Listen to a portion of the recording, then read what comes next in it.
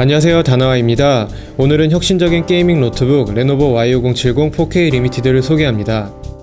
레노버 Y5070은 4세대 인텔 코어 i7 4HQ 프로세서와 지포스 GTX 860 4기가 D5 외장 그래픽, 4K 디스플레이 및 JBL 사운드가 특징입니다. 먼저 구성품을 확인해 볼게요. 가장 먼저 레노버 Y5070이 있고요. 그 외 구성품으로 전원 어댑터, quick 매뉴얼, 외장 ODD가 있습니다. 제품 외관을 살펴볼게요. gaming 노트북 치고는 굉장히 슬림하게 출시되었는데요. 기존 gaming 노트북의 투박한 디자인과 다르게 metallic hairline 패턴과 각진 상판의 고급스러운 디자인이 굉장히 인상적이네요. 게다가 고성능 노트북의 두께라고 생각되지 않을 정도로 얇게 제작되었습니다. 100원짜리 동전으로 비교해 볼게요. 거의 동일한 높이로 확인할 수 있습니다. 무게는 2.4kg으로 휴대성이 뛰어나진 않지만 휴대하기에는 충분한 무게라고 생각됩니다. 제품 포트를 살펴볼게요. 먼저 좌측을 보면 AC 전원, 유선 랜 포트, 표준 규격 HDMI 포트, USB 3.0 포트 두 개가 있고요. 우측에는 SPDIF 포트, 헤드폰 단자, SD 카드 리더기, USB 2.0, 분실 방지를 위한 Kensington lock이 위치해 있습니다. 제품 하단에는 indicator가 위치하고 있어 노트북의 상태를 쉽게 확인할 수 있습니다. 슬림한 gaming 노트북이라서 ODD가 내장되어 있진 않지만 외장형 ODD를 지원해서 사용자 편의성을 높였습니다. 이제 안쪽을 살펴보겠습니다. 4K를 지원하는 15.6인치 대화면이 설치되어 있고요. 상단 중앙에는 720 픽셀 TrueVision 웹캠과 dual 디지털 마이크가 장착되어 있습니다. 디스플레이는 사용에 불편함이 없는 시야각을 제공합니다.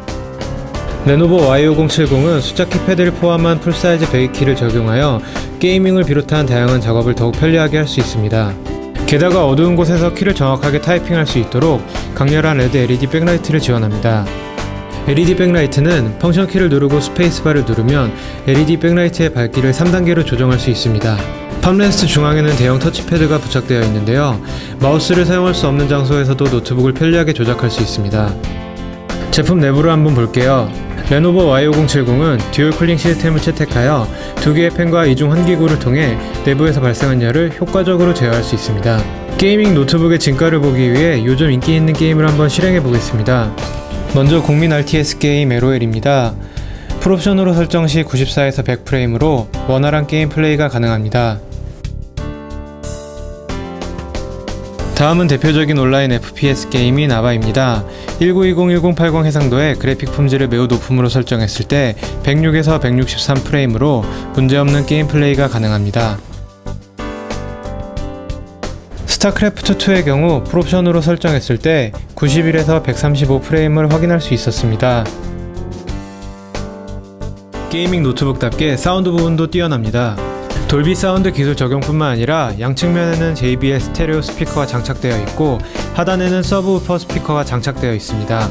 게임을 하거나 음악을 들을 때 기존의 노트북 PC에서 들어보지 못한 풍부한 사운드를 확인할 수 있습니다.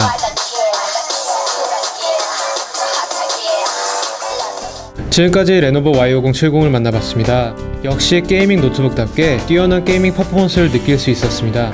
제품 소개는 이 정도로 하고요. 다음에 또 뵙겠습니다. 감사합니다.